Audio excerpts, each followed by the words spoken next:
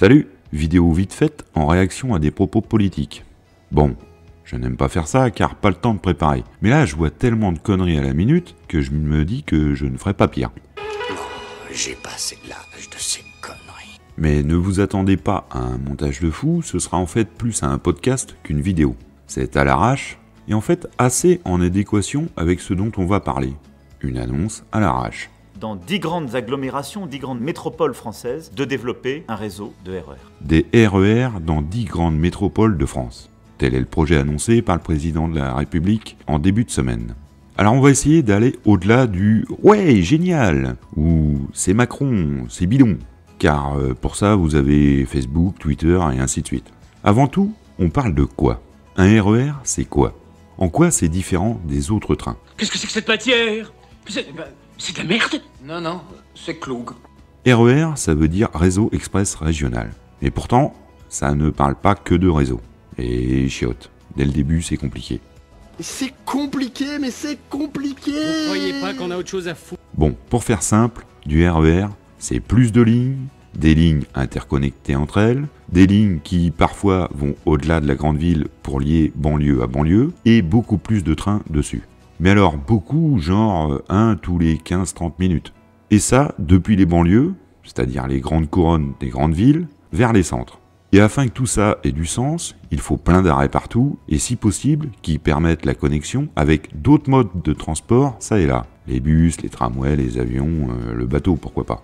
Les grandes villes, hors Paris, ont déjà du TER, le train express régional. Bon, eh bien, prenez les TER, mettez-en plein sur chaque ligne, créez des lignes là où il n'y en a pas et où il y a besoin, mais des TER qui ne vont pas obligatoirement d'une grande ville à une autre. Non. Des TER qui vont d'une commune moyenne, pas très loin, jusqu'à la grande ville, desservant au passage plein d'arrêts dans les communes traversées. Donc ça veut dire ça dans 10 grandes villes en France. On mesure un peu mieux l'ampleur du projet. Énorme Ou alors on nous ment sur le fond mais les mots utilisés veulent dire ça. Je n'ai fait que traduire le français. Ok, donc va falloir que chaque ligne absorbe beaucoup plus de circulation. Or, les grandes lignes autour des villes sont déjà pas mal occupées, du moins en heure de pointe. Ça veut donc dire qu'il faudra peut-être envisager de changer les systèmes de cantonnement et de signalisation sur ces lignes, afin qu'elles puissent absorber plus de circulation. Une ligne à équiper avec un cantonnement moderne qui permet ça, c'est environ 10 millions d'euros du kilomètre mettre de l'ERTMS. Si je veux faire du RER, e je dois le faire sur des lignes qui vont à 30 km au moins autour des villes. Donc une ligne qui en fera 40 à 50, car elle n'est pas en ligne droite. Sauf que ces petites lignes, elles n'auront toujours pas plus de trains, elles seront juste équipées pour les faire rouler. Car oui, on a dit plein d'arrêts partout, donc va falloir créer des quais, des parkings, des gares quoi. Là, vous me rajoutez au bas mot 15 à 20 millions par arrêt. Et oui, ça monte vite avec des passages souterrains et des équipements divers. Avec un arrêt tous les 5 km pour conserver l'esprit RER, ça fait tout de suite 150 à 200 millions par ligne. Combien? Ah, j'oubliais. La gare principale, celle de la grande ville. Elle va les mettre où, tous ces trains en plus? Bah oui, aux heures de pointe, c'est déjà gavé. Donc là, je ne vois pas trop.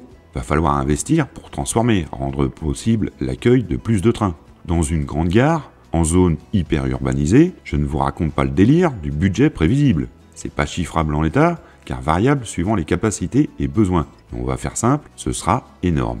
C'est énorme C'est énorme, je vais appeler Johnny Ok, bon, j'ai mes voies, mes gares, donc c'est bon.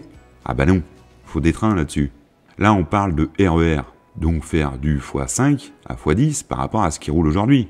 Ouais, ouais, ouais, un TER c'est 8 à 10 millions d'euros, et en rajouter plein sur chaque ligne, c'est devoir en acheter plein. Alors je peux optimiser la maintenance, réduire les temps de ceci ou de cela, ça ne fera pas le joint. Faudra acheter. Beaucoup. Là encore, compliqué de chiffrer, car annonce trop peu précise, et besoin variable selon situation. Mais ça fera comme tout à l'heure. Énorme. Encore Ça fait beaucoup là, non? Ok, on a tout là? Ah bah non, chiotte, faut des conducteurs, des gens pour entretenir les voies, voies qui vont s'user beaucoup plus, des gens pour maintenir en technicentre, des gens pour gérer tout ça, et des gens pour et ainsi de suite. Au moment où on peine à recruter, pour juste assurer ce qu'on a à faire actuellement, ça me paraît compliqué. Bah, y a qu'à donner ça au privé. Ouais, bah ça fera exactement la même chose. Faudra toujours des voies, des gares, des trains et des gens. Il faudra aussi beaucoup de temps, car transformer un réseau sans l'arrêter, Et oui, les trains actuels doivent continuer à rouler pendant ce temps. C'est très complexe et demande beaucoup plus de temps. Alors oui, on a besoin de ces transports bas carbone. On a besoin de ces transports rapides et accessibles au petit budget. On a besoin d'un grand plan ferroviaire pour notre pays. Mais quand on refuse d'investir 100 milliards sur 5 ans pour entretenir le réseau actuel, j'ai du mal à croire qu'on va lâcher ce qui s'annonce déjà beaucoup plus dans un projet de RER pour la France. Ceci est un message du gouvernement. Pour exemple, le seul projet de RER à Bordeaux est chiffré à 1,8 milliard. Et ce n'est que du prévisionnel. Ce qui est annoncé par le président de la République serait littéralement le plus grand plan ferroviaire depuis la reconstruction d'après-guerre 39-45. Ça donne un peu une idée du truc. Y a pas de mots pour dire ce que vous êtes, monsieur Ramirez Y a plus de mots Alors, Macron aurait subitement découvert les bienfaits du ferroviaire? À mon avis, tout le secret, ou l'embrouille, c'est selon, se cache là. Le RER, ce n'est pas une norme. Et si on pense immédiatement à ce qui se fait à Paris quand on entend ce mot, j'ai comme dans l'idée que ce plan en sera très éloigné et qu'on sera plus sur un cadencement de ligne TER appelé pompeusement RER. Alors le discours laisse penser à un truc démentiel, mais en utilisant des termes assez vagues, ce qui laisse fantasmer sur ce qu'on veut, à croire que c'est pensé pour. Et au fait, les TER sont pilotés et payés par les régions. Aussi, le président peut décider et annoncer, s'il ne donne pas les financements nécessaires aux régions, elles ne pourront pas le faire. Ton flouze, ton oseille, ton pognon, ton pèse, ton fric, ton blé. Oui, je veux y croire. Je serais le plus heureux que ça se fasse. Mais non, j'aime pas trop qu'on prenne pour un jambon. Donc je vais attendre les données factuelles et chiffrées avant de m'emballer. La presse et le Kidam devraient faire pareil, au lieu d'être pour ou contre suivant son camp. Le ferroviaire est une valeur de notre pays. Ce serait triste de n'y voir qu'un moyen de briller sans suite. Là, j'ai un peu dressé le tableau du pire, en me basant sur le seul RER qui existe en France, celui de la région parisienne. Donc avec une très forte cadence et plein de lignes partout. On n'a pas commencé qui est déjà mauvais joueur. Mais tout ça est pas mal à charge, et je me dois d'être un peu équitable. Rien que le fait que ça fasse se pencher sur ces questions est une bonne chose. Sans le ferroviaire, on n'arrivera pas à faire de la mobilité bas carbone de masse. Donc le train doit être au centre des discussions. Et ces annonces permettent de leur mettre au centre des discussions. Alors, qu'en sera-t-il au final? Méga grand plan ferroviaire ou simple pchit médiatique sans suite? Sans doute quelque part entre les deux. Alors quoi y comprendre? On peut revoir un peu les ambitions à la baisse.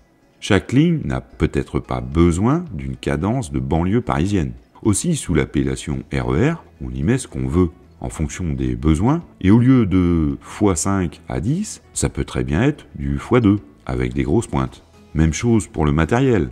Strasbourg qui ne va pas tarder à ouvrir son RER, avec 1000 trains en plus par semaine, donc un petit RER, s'équipe beaucoup de matériel d'occasion et peu flexible.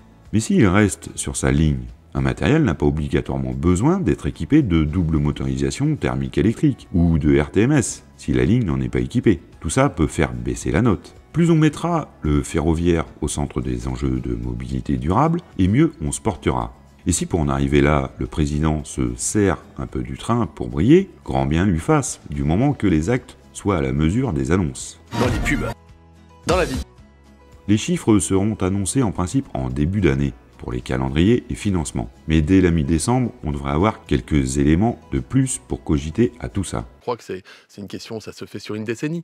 Ce sont des projets qui sont, qui sont astronomiques. Ça va coûter combien. On parle de 30 milliards d'euros. euh, Parce que c'est un, c'est un coût d'investissement, c'est pas un coût de fonctionnement. En fait, il faut différencier les deux. En 2020, SNCF Réseau avait fait un rapport. Et les villes à potentiel étaient Aix-Marseille, Bordeaux, Grenoble, Lyon, Nantes, Nice, Rennes, Strasbourg et Toulouse. On verra si ce sont celles qui ressortent. Voilà. Vous avez à présent quelques éléments pour vous faire un avis, au-delà des positions partisanes habituelles. Libre à vous d'en penser ce que vous voulez. D'ailleurs, n'hésitez pas à le partager en commentaire. En essayant de ne pas vous limiter au camp politique, mais au sujet de fond, le train. Car on est là pour ça. Allez, tchou les analystes. Il y en a un autre qui part à minuit 13, donc une minute après. Qui arrive à 7h64. C'est un omnibus. Il s'arrête dans 60 gares, seulement il roule beaucoup plus vite entre les gares.